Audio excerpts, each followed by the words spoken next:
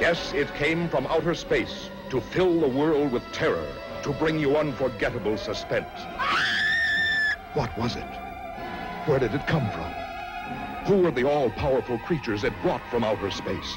And what did they want on Earth? You can learn the amazing answer only when you see the most thrilling picture in years. It came from outer space.